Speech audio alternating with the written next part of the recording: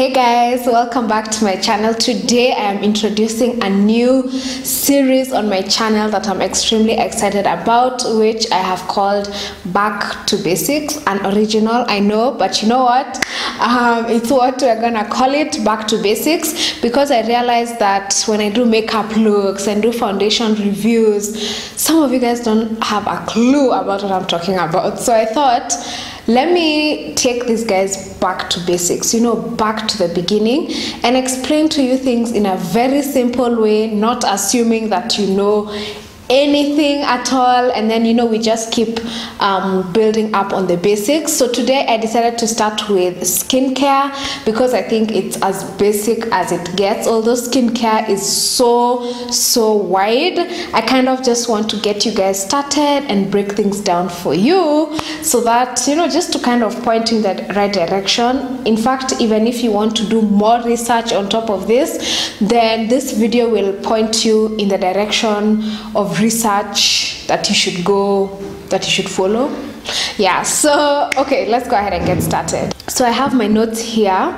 So if i look down it's because i'm looking down at my notes. Oh actually before i forget i should have led with this. You guys i'm going to start um, an email list a mailing list. So i'm going to put a link in the description box down below where you guys can sign up and put in your emails to join my email list because i want to be like doing some writing. Writing is something that you know i've always loved. I, I like writing and like it's so easy for me to get my thoughts down on paper or in a document and i kind of want to diversify and um, talk about more topics other than just beauty or even just beauty but go really in depth. So i'm going to be sending you guys like some motivational emails you know of the podcasts i'm listening to um, the quotes i'm loving and then like i want us to also be doing challenges like 30 day self-discipline challenge you know things like those because i want um, our community to become tighter you know you know. So i'm going to explain all this in the first email i'll send you. So just leave me your email address by following the link down below and i'll explain all of this. So now let's get into the real agenda of today.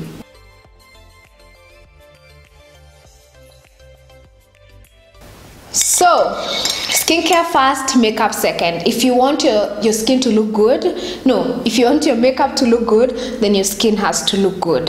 So the first thing when it comes to skincare is know your skin. Um sorry. I should not be drinking on camera. Okay so first is to know your skin. When i say know your skin i mean you should know your skin type. Are you normal? Are you dry? Are you normal to dry? Are you combination? Are you sensitive? Are you oily? Basically what's your skin type? I, I feel like that's the first that's the starting point when it comes to skincare. Um because this is like a foundation. It will help you pick the makeup you buy it will help you pick the skincare that you decide to use. So this is really like the foundation which is to know your skin type. And i did a really in-depth video on this which i'm going to link right here and also in the description box for you to go and see the kind of techniques you can use that will make sure that you know your skin type at the end of doing those those two techniques.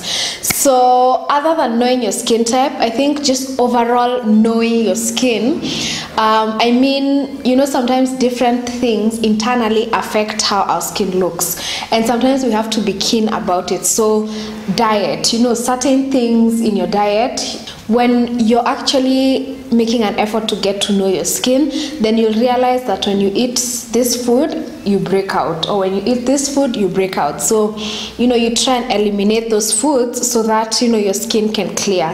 Um, also, hormonal uh, you can try and determine and see whether you only break out your breakouts are caused by hormonal imbalance or just for you to overall know that your breakout is caused let's say when it's that time of the month so you know you're going to break out it's basically just studying your skin. Like when you change something uh, when you change your diet when it's a certain time in the month you know like how is your skin responding you know? So that's what i mean when i say knowing your skin. And then if you have acne because i'll always talk about acne guys. I've been there. I'm still there though. We're recovering quite well. Um, I think you, you should make an effort to try and discover what the root cause of your acne is.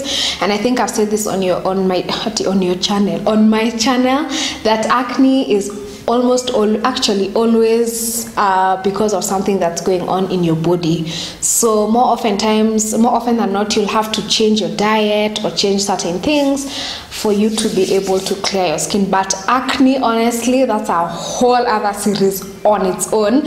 And i plan to be sharing a few things about acne things that i learned. Oh my gosh see i watch so many videos on nini acne. So in the newsletter i can be sharing with you guys those things um, those links uh, the diet and all that stuff. So yeah i think that's more or less the first part of skincare is just knowing your skin. Get to know your skin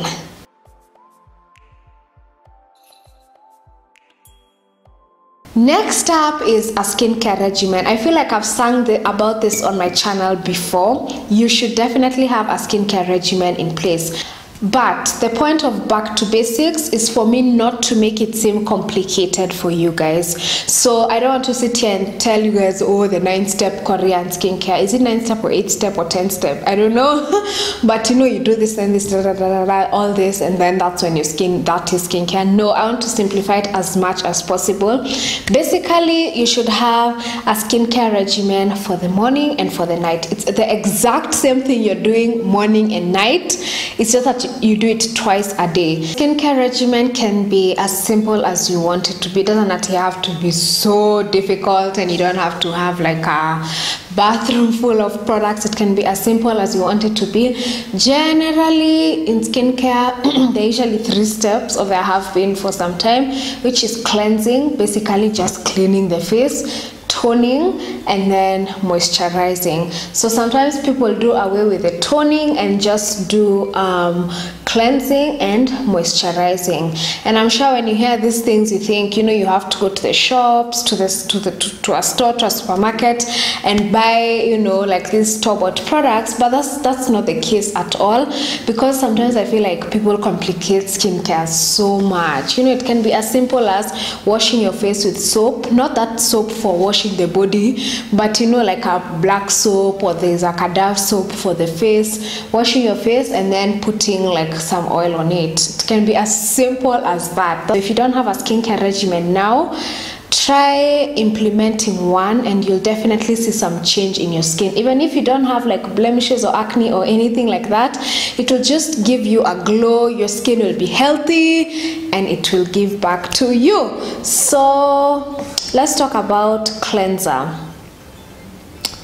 So you cleanse in the morning when you get up and you cleanse in the night when you're going to bed.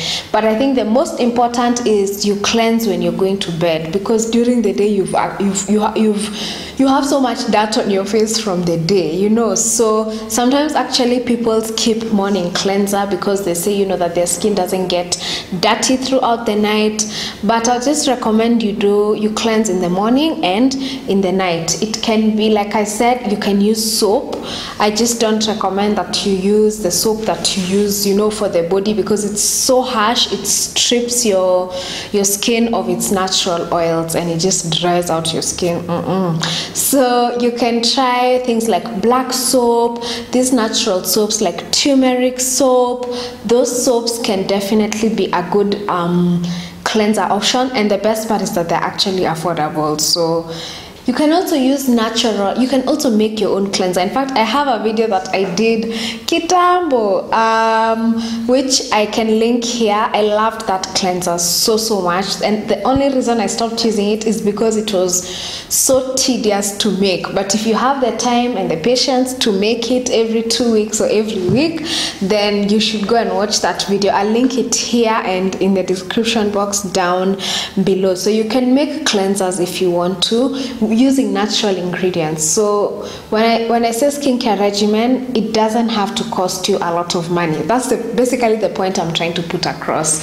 So you could even do um, honey. Honey is a good cleanser. Yani just pure honey. You use it to wash your face. You could use um, coconut oil, pure coconut oil to cleanse your face. It's like oil cleansing. Um, what else? What else? Let me look at my notes here. Mm you can also use castor oil jojoba oil that's still part of oil cleansing.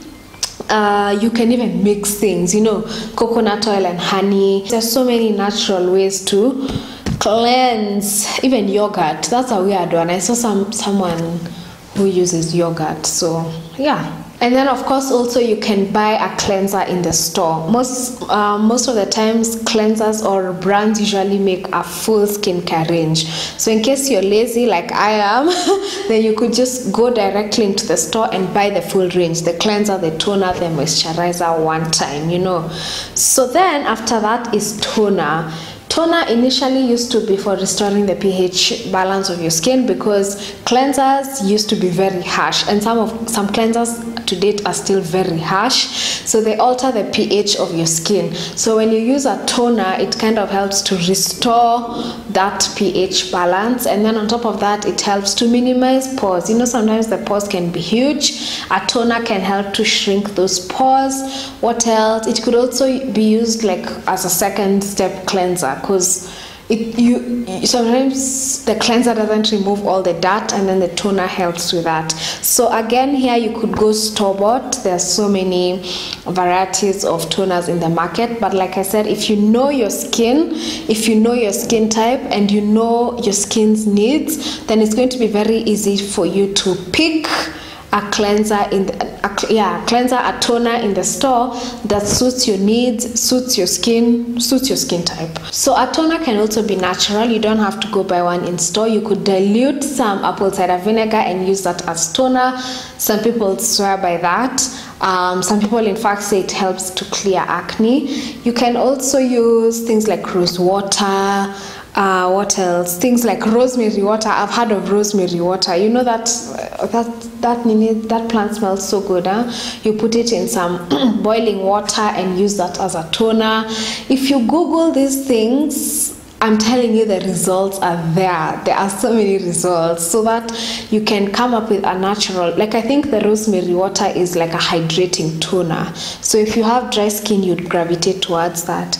If you have oily skin then you will find natural toners online for sure.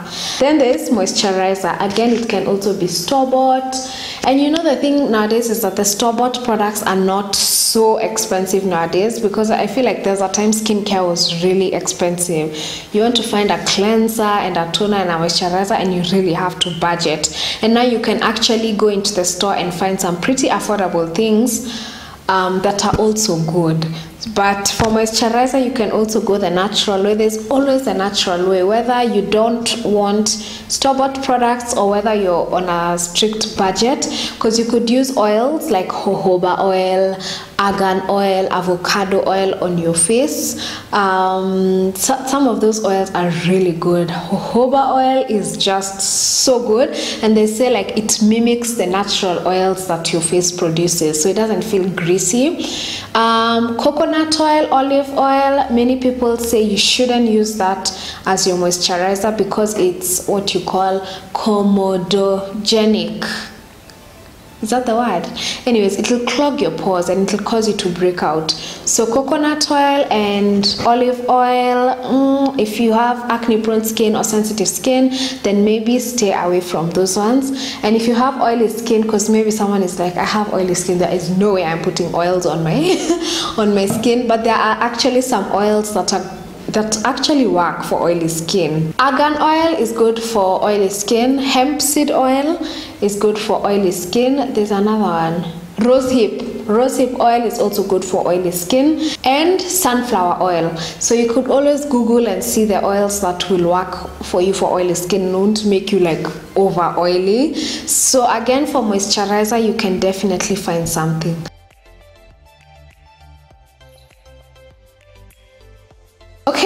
We have how to remove makeup because that's part of skincare. Because when we're talking about morning and nighttime routine, in the nighttime, you might have one makeup during the day and you have to take it off. So I usually count that as its own step makeup removal it's not i usually don't necessarily count it as part of skincare because it's the step you do before you get into your skincare regimen. So taking off the makeup is really easy. Again an oil goes a long way. And in fact i've done a whole video on this. So there are going to be so many resources in the description box below so that you can go deeper. But um, you use an oil to break down the makeup and then use a wipe alcohol free because alcohol tends to dry out the skin and then after that you can go straight ahead into cleanser.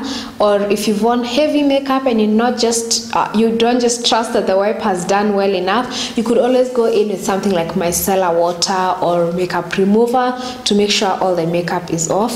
And then after that now you can go into your cleanser toner moisturizer or cleanser moisturizer whichever you've decided in fact, if you have the regimen and you don't even do the masks and the whatnot and the whatnot, your skin will already be looking so good.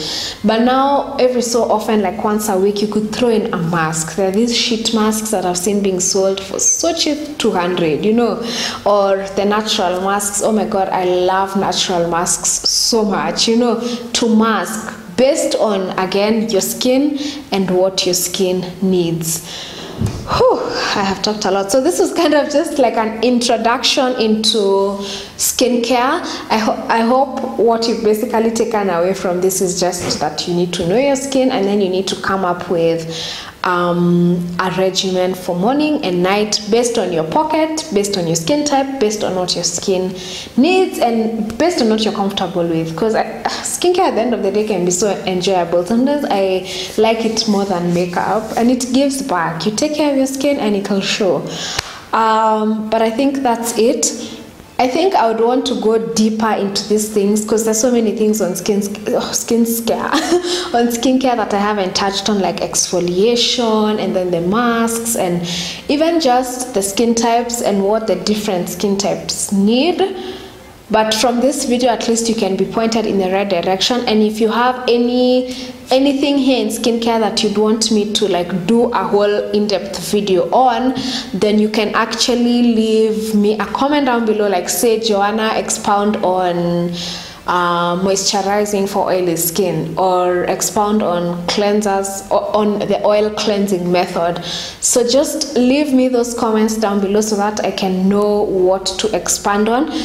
I've been doing a lot of reading and taking even a few beauty courses and skin courses of late. So that's even why i started this back to basics because even me i've i've, I've been refreshing my basics and i definitely want to share with you guys. Okay that is it um, video done. Guys subscribe to my mailing list so that i can be sending you a newsletter. I haven't decided whether to be doing it twice a week once a week i don't know maybe to start with once a week like just to dip my toe in. But yeah i wanted to to be like um like a community kind of. You know i bring up a topic and it just it sparks a conversation. That's basically what i'm going for. So subscribe to the mailing list and yeah thank you guys so much for watching and i'll see you in my next one